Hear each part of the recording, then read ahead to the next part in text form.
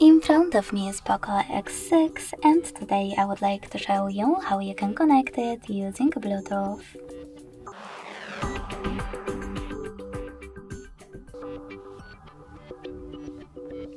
First of all, go into settings and click on Bluetooth right away. Then hit this grey switcher next to Bluetooth to activate it and wait for available devices to show up.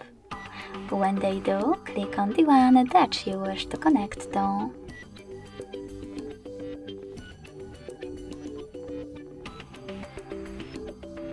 Now hit pair in the pop-up and wait for the second device to accept your connection request.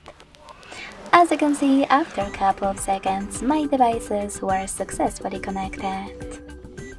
Thanks so much for watching. If you enjoyed this video, leave a like, comment and subscribe. Bye!